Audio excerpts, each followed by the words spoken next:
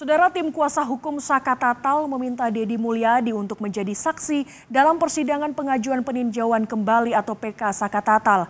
Kuasa hukum menilai Dedi Mulyadi banyak membantu dalam pengungkapan kebenaran dalam kasus tewasnya Vina dan Eki di Cirebon pada 2016 lalu.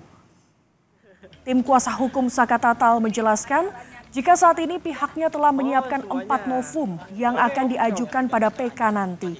Selain itu, pihak Saka Tatal juga meminta Deddy Mulyadi untuk menjadi saksi dalam persidangan PK Saka Tatal. Karena Deddy Mulyadi yang telah bertemu sejumlah saksi dianggap telah membantu mengungkap kesaksian-kesaksian yang selama ini sulit ditemukan. Sementara itu, Deddy Mulyadi mengaku bersedia untuk menjadi saksi dalam PK Saka Tatal. Uh, untuk persiapan PK selain uh, novum-novum yang sudah kita persiapkan juga kita akan menghadirkan para saksi ahli. Kemudian juga ada tokoh-tokoh masyarakat, terutama Pak Deddy Mulyadi, yang sejak awal menelusuri kebenaran peristiwa tersebut.